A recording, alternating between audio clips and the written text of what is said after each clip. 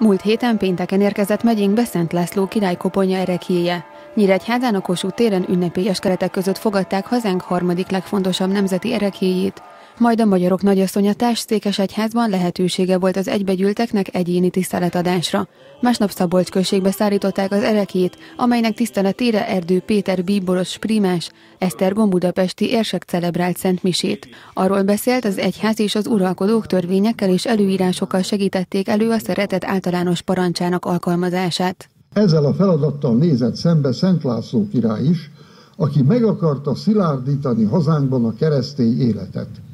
Gondoskodni akart arról, hogy a különböző népek és közösségek békésen éljenek együtt, és a kisebbségek iránti türelmet össze lehessen egyeztetni az egész társadalom életének ritmusával. A Szent Mise után nyitották meg a lovak királyról szóló vándorkiállítást. A nemzetpolitikáért felelős államtitkár hangsúlyozta. Életművére emlékezve 2017-et Szent László emlékévé nyilvánította az országgyűlés. Több mint 20 helyszínen volt már ez a kiállítás, ami ma itt Szabolcson is látható.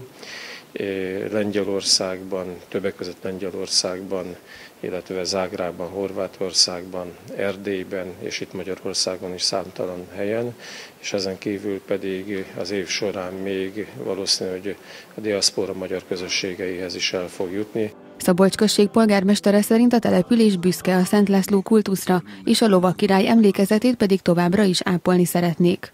Szent László emlékévében a leg egyik legautentikusabb pont, ahol meg lehet emlékezni róla, az az 1092-es zsinatnak az emlékhelye, és gyakorlatilag mi most a mellette lévő rendezvénytéren, mondhatnám azon a helyen, ahol maga Szent László is járt, Szabolcs vezér földvárának a lábánál, ott ünnepeltük meg ezt a gyönyörű felemelő alkalmat több ezer ember jelenlétében. A megyei közgyűlés alelnöke az ünnepségen arról beszélt, a királyi örökséget a ma élő embereknek is fontos megismerniük, és Szent László igazságosságát és emberszeretetét lehetőség szerint alkalmazniuk kell saját életükre is.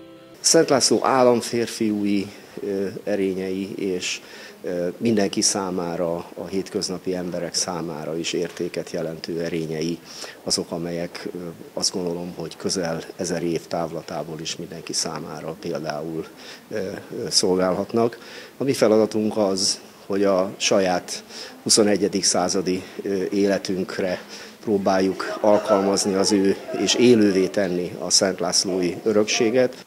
Az országgyűlés a múlt héten fogadta el azt a határozati javaslatot, amelynek értelmében 2017 hivatalosan is Szent László emlékével lett, hangsúlyozta a térség országgyűlési képviselője. Szent László ö, ö, érdemei, kultusza az egész országban az, hogy sikerült a, az akkori államrendet megszilárdítani, sikerült a tulajdonviszonyokat, az egyházi viszonyokat rendeznie, hiszen három törvénykönyve van. Az egyik törvénykönyve, amely az egyházzal foglalkozik, az éppen itt Szabolcson született meg. A király elnökletével Szabolcsi zsinatot tartottak, és itt szabályozták az egyházi jogokat. Például a templomok újjáépítéséről, a tizedszedésről, vagy éppen a, az egyházi ünnepek, bőjtök megtartásáról. Az egész napos esemény sorozaton a családok számára is kínáltak programot, a hívek pedig tiszteletüket tehették Szent László király koponya előtt.